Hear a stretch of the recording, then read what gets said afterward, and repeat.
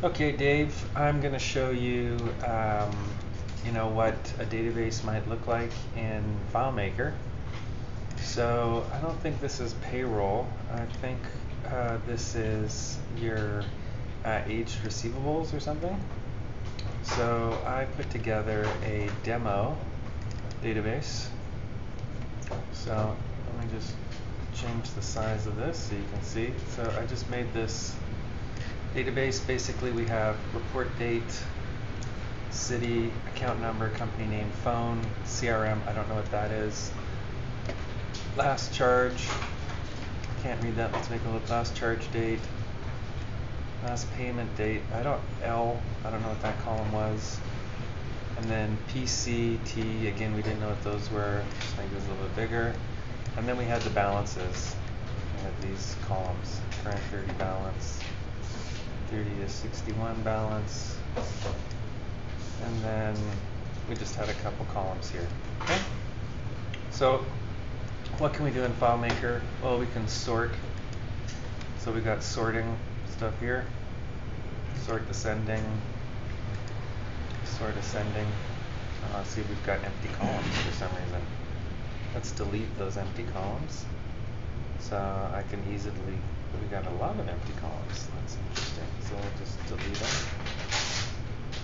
Uh, I'm not sure why we have all those empty columns, empty records. It's, it's pretty easy to delete. You can see I'm just deleting them pretty quick.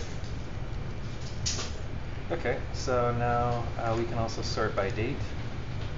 So doing date sorting. Okay, and just like Excel, we can move columns around. So maybe we want account number first or whatever. We can resize columns. Okay. Um, using this modify button, we can change what columns we want to display. Maybe we don't want to see the report date anymore. We can just turn it off. See? Or account number, whatever. So that's how we can hide and show columns. Um, maybe we want to do some, you know, searching and finding. So let's say, for example, we only want to find uh, reports that are on this date. So we can copy the date, we can go into find mode, and then we can paste the date in, and there we found um, records on that date. Okay. Now if we want to find all the records, we just click show all. Maybe we want to be a little bit more complicated. Maybe we want, we want to find reports on that date. Let's see what we get. And then we only want to um, something else. No, that's okay. So let's try something else. Maybe we want to find all the people who have balances of a certain number. So people who have uh, balances, current account balances greater than a thousand bucks. There we go. Or let's say we want to find people that have um, uh, a total balance of between a thousand and two thousand. Okay. Oops. Thousand, two thousand. There we go.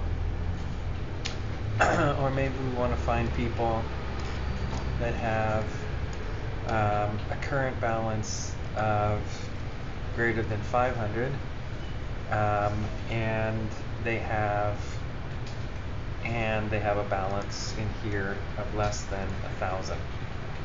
Is there anybody? Let's see. So that was greater than 500. Oh, no, less than 1,000. So there you go. Okay, so that's FileMaker, quite powerful, and that's the end of my demo.